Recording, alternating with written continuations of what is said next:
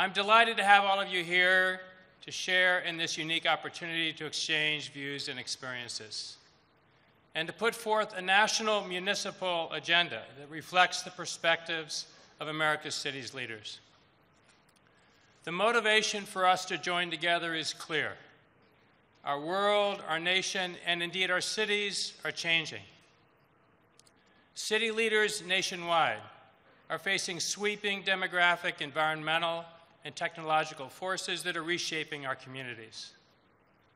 We can't stand idle as our roads and bridges deteriorate, as natural disasters become more consequential, as our failed immigration system tears apart families and holds back economic growth. Cities are taking actions to adapt to a changing world. Across the country, city leaders are driving not just our local and regional economies, but progress in our country overall.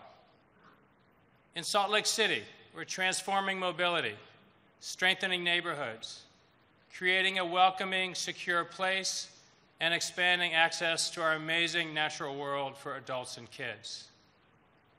It is our shared perspective, our street level view of conditions that promote innovation, economic growth, and job creation. And our influence only grows when we stand together. So, as we lead locally, we also recognize we cannot fail to participate in national decisions that affect our communities. When I became president of the National League of Cities last November, I said this year will be the year of connecting.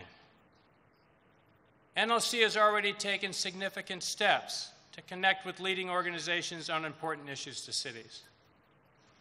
For example, we encourage and support city efforts that expand children's access to the outdoors through the NLC's partnership with the Children and Nature Network. And we provide insights, peer to peer learning, and analysis needed for excellence in land use decision making through a new partnership with the Rose Center at the Urban Land Institute. Connecting also means calling on our federal partners to listen before they act and establishing a strong line of communication from City Hall to Capitol Hill. Look no further than the current state of our transportation infrastructure to realize cities need a greater role in planning and project selection. Cities hold the key to our national economic vitality.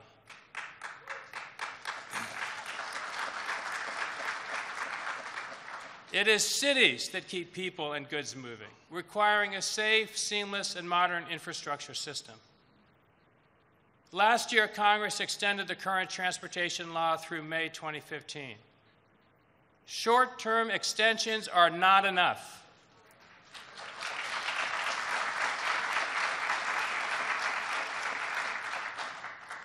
This year, join NLC in urging Congress to pass a long term federal surface transportation bill.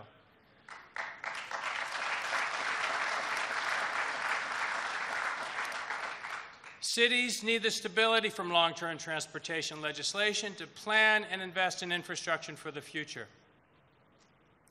At the local level, we act to meet the needs of our community. Congress needs to act to meet the needs of our nation.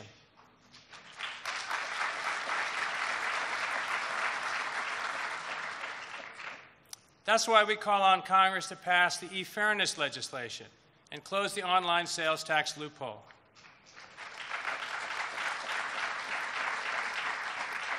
It's long overdue. This will allow cities the flexibility to collect sales taxes already owed on remote online purchases. In Salt Lake City, for example, we estimate this would mean more than a million dollars annual in new, in new revenue. These are resources for basic services, such as roads and police officers, without costing the federal government a penny. In cities, we act, and we need Congress to act.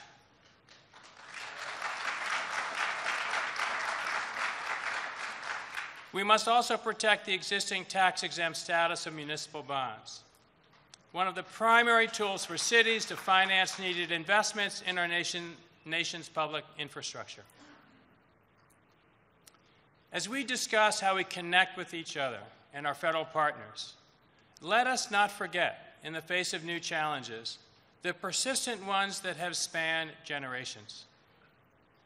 In just the last years, last year we witnessed events in cities across our country that call upon each of us as Americans to examine more critically issues of race and equity. Unfortunately, the recent events in Ferguson, Missouri, New York City, and elsewhere are not the first time this country's conscience has been challenged by issues of race and justice.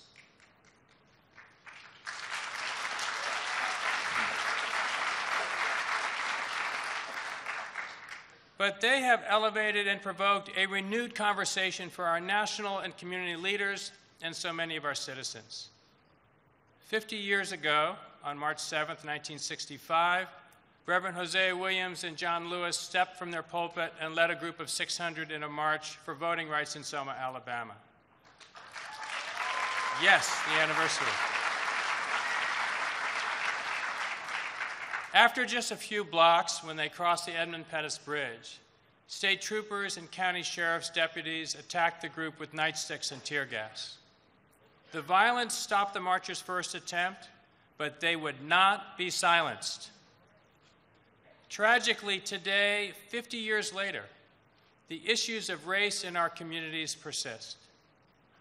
Too many in our nation endure persistent barriers to economic and social equity and to full participation in the American dream. As America's leaders, we must answer today's call and reject racial bias, increase equity, and increase and create justice in our communities once and for all.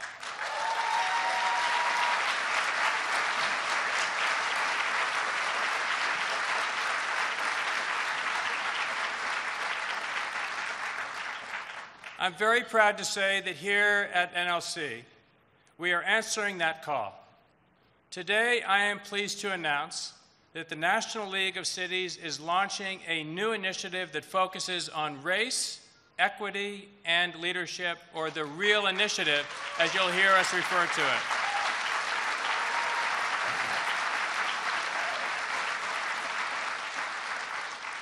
The REAL initiative will align NLC's unique strengths and resources to support cities and, uh, excuse me, to support cities in creating communities where racial and ethnic diversity are seen as social and economic strengths.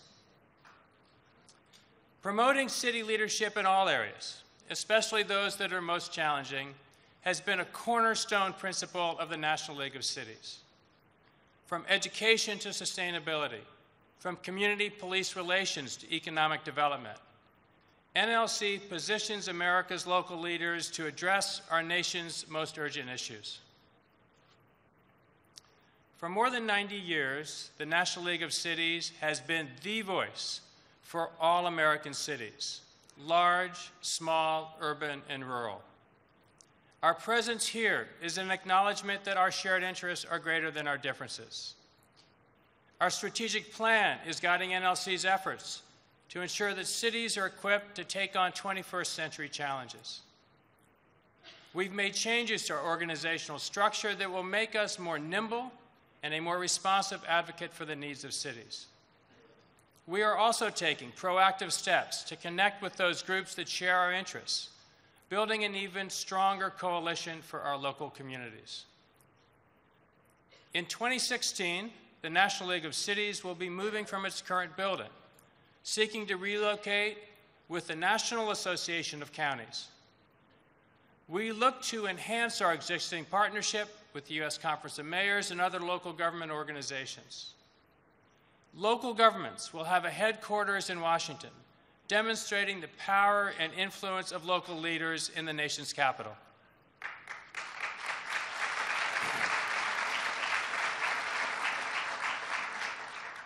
President Obama's attendance today is a powerful acknowledgement of the critical role each of you plays in the future of this nation.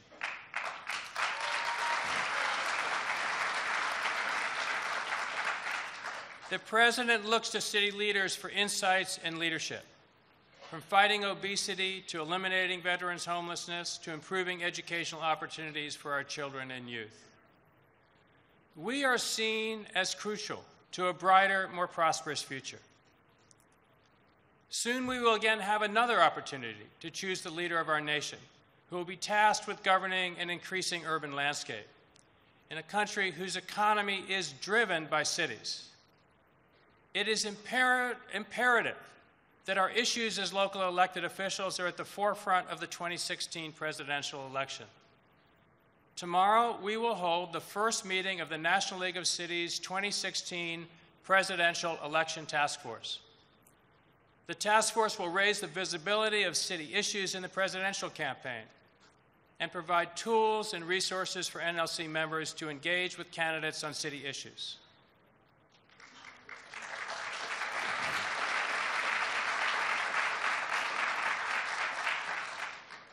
Our interests will not be realized without the presence of unwavering, innovative municipal leaders joining together to push for the needs of cities. This is the year of connecting. We are pushing forward an agenda that makes our communities better. As the leaders closest to our communities, let's raise our voices and stand strong together. If we do that, I know we will succeed. Thank you.